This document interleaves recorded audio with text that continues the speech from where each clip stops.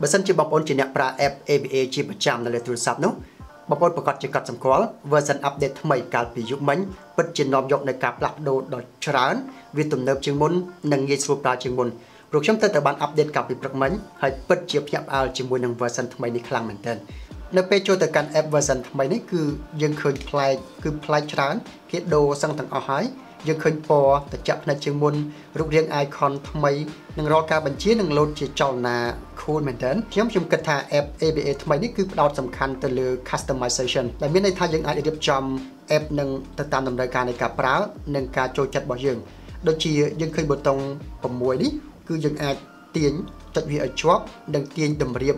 ដាក់លើដាក់ក្រោមឆ្វេងស្ដាំអីទៅតាមការចូលចិត្តរបស់យើងបាន យើងអាចផ្លាស់ប្ដូរពី dark mode ឬក៏ light mode ឬក៏រើសយក system ដោយវានឹងឆ្លាស់ដោយខ្លួនឯងពេលថ្ងៃយើងប្រើ light mode ហើយពេលយប់វានឹងឆ្លាស់ទៅ dark mode ដោយខ្លួនឯងគឺ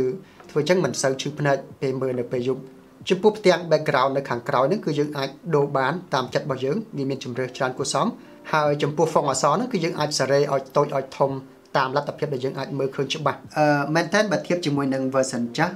version ថ្មីនេះមានព័ត៌មានច្រើនជាងមុនក៏ប៉ុន្តែយើងក៏អាចធ្វើការដកចេញនៅ widget ណាដែលយើងគិតថាមិនសូវចាំបាច់យើងអាចដកចេញបានហើយយើងក៏ឃើញនៅ menu ថ្មីថ្មីជាច្រើនខាងក្រោមមកទៀតគឺ explore service យើងអាចរកមើលសេវាកម្មឬក៏ទំនិញពីហាងដៃគូរបស់ ABA គេមាន promotion និងការបញ្ចុះតម្លៃអីយើងបានទទួលមុនគេខាងក្រោមនេះគឺជាកន្លែង new and promotion គឺជាកន្លែងទទួលព័ត៌មានថ្មីថ្មីឬក៏ update ឬក៏សារពី ABA តមកទៀតគឺជាកន្លែង discovery គឺជាកន្លែងដែលឲ្យយើងធ្វើការផ្លាស់ប្ដូរ app ហ្នឹង ដោយយើងអាចផ្លាស់ប្ដូរ dark mode ឬក៏ light mode customize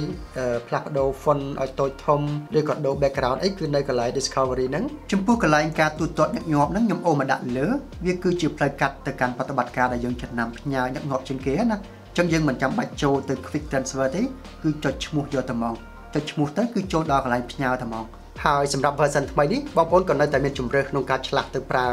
version classic ឬក៏ផ្ទាំងដែលយើងធ្លាប់ប្រើពីមុនពីមុនណាបើសិនជាគិតថាផ្ទាំងថ្មីនេះរៀងច្រើនជាងមុន